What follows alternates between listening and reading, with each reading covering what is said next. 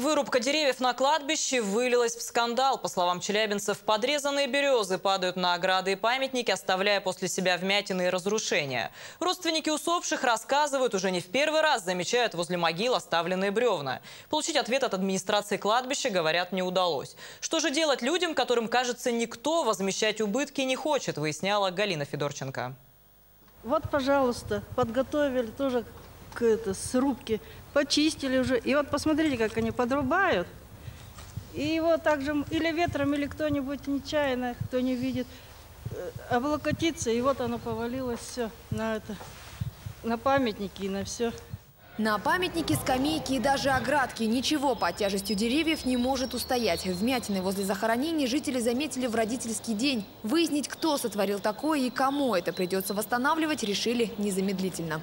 Заходили на кладбище к начальнику ну, градского кладбища, он там уже новый, ничего не знает, глазками хлопает. Ну вот, говорит, приезжали эти вот обслуживают, как высоковольтные провода. То есть вот они тут творились.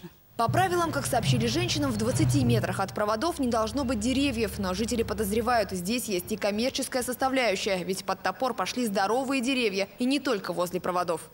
Обычно ну, вот срубят ветки, которые касаются проводов, и все. А вот последние два года сначала просто завалили тут нам деревьями все. А в этом году еще лучше. Деревьев нет, так зато все переломано. Два года назад женщины уже жаловались во все инстанции. Тогда выяснилось, вырубка деревьев не согласована со службой городских кладбищ, а значит и о наваленном мусоре они тоже якобы не знали. В полиции же Курчатовского района предлагают недовольным жителям обращаться в суд, чтобы восстанавливать разрушенное не за свой счет.